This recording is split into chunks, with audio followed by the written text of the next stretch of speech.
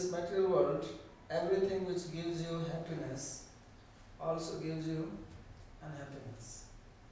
This is the paradox of this material world. In fact, unhappiness comes only from happiness. If you do not want happiness, you will never be unhappy. If anything which is making you unhappy and you trace the source of that unhappiness, you will find it because this gave you happiness.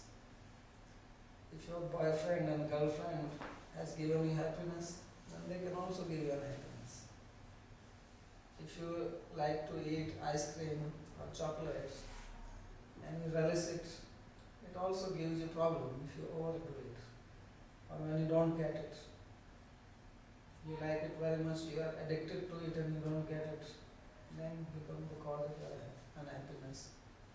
Or you eat too much of it, then it will give you some some reaction will come in your body. So this is the principle of material life or the, our life, day-to-day life, that anything which gives me pleasure also gives me pain, especially if I don't know how to balance things. And more sensitive we are, more we become disturbed. Animals don't become as disturbed as human beings. They don't have stress. They don't have insomnia. They don't get high blood pressure or heart disease. Why? Because they are not sensitive like human beings. We become very much emotional and influenced by our circumstances, situations, and especially with our desires. When our desires are not fulfilled, then we become stressed. And because of the stress, we feel unhappy. Our mind becomes agitated. And when mind is agitated, then you cannot feel happy.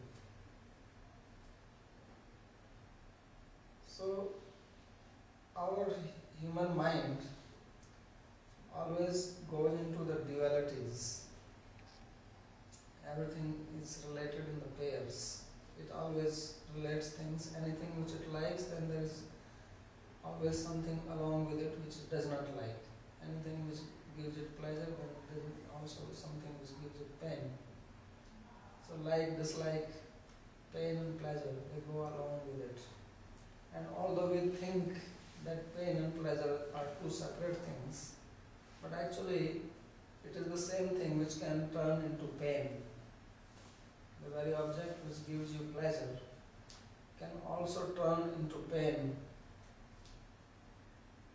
after some time or under certain conditions. So we all know that people they fall in love, they get married, and then they get divorced. So the same person with whom you felt so happy one day, and you thought that this is the most happy day in your life, then later on you feel happy when you become separated from that person. There is a saying that the most happy most the happiest day in the life of a man is when he gets divorced.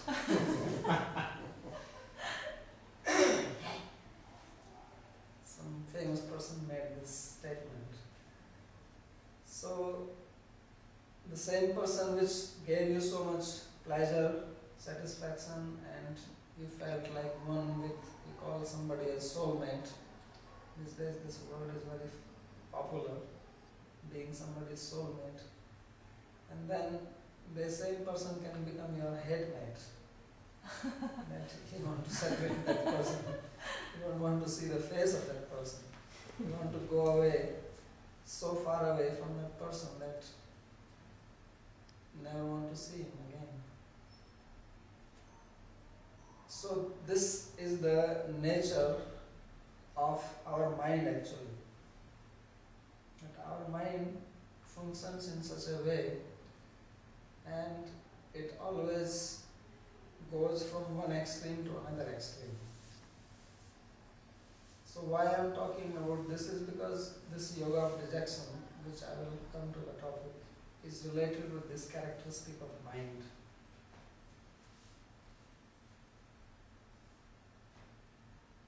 And if we don't understand this characteristic of mind, then we fall prey to unhappiness or depression, dejection, sadness. Because this sadness or dejection is the quality or some feeling of the mind.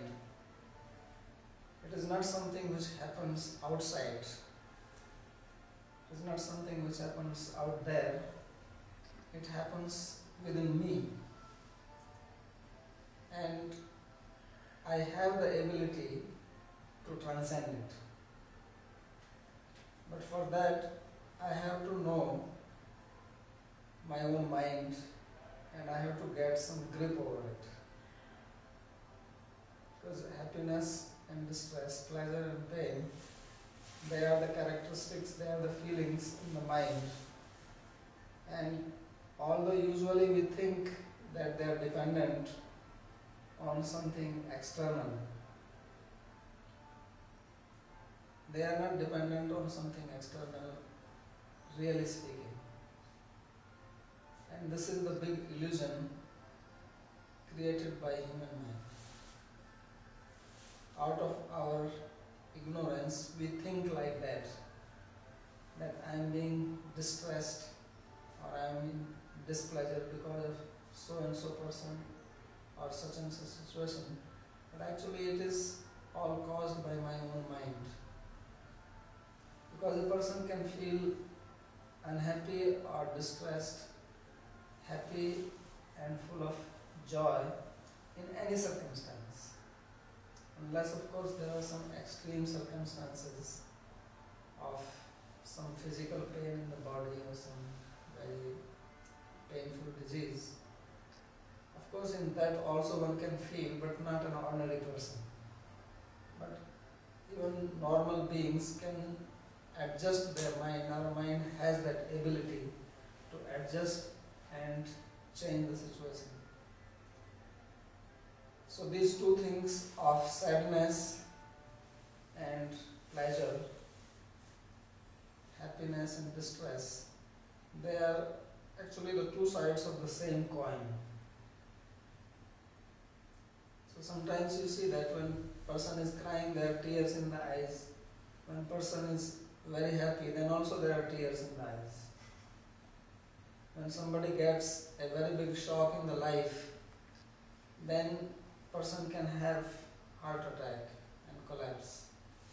If somebody gets a great news of happiness, then also one can get heart attack and collapse.